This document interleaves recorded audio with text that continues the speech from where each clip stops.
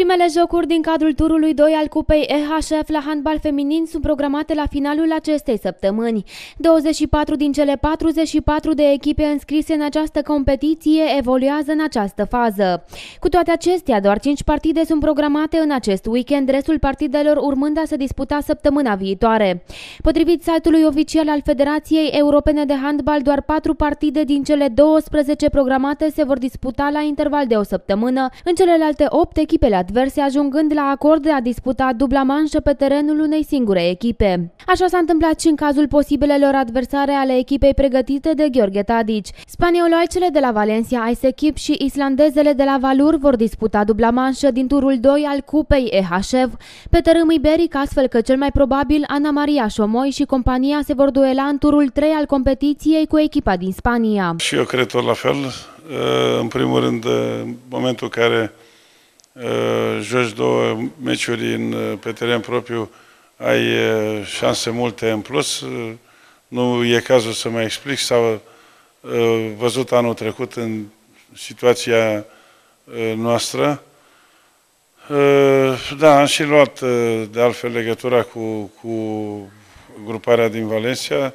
Sigur că ei mai sunt circunspecți și e normal și fair play-ul te, te obligă. Însă pe noi ne, inter ne interesa dacă ar accepta să joace două meciuri la, la Zalău.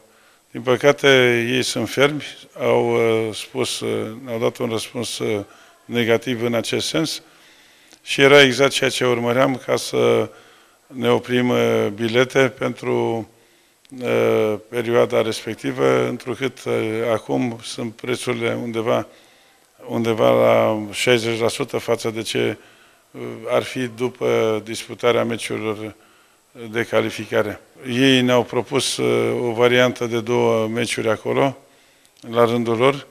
Acum, uh, uh, să vedem, am discutat cu...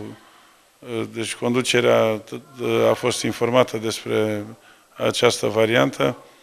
Să vedem, să o gândim, să vedem ce șansă am avea, pentru că ne dorim să trecem totuși de acest tur și să jucăm și în luna ianuarie-februarie.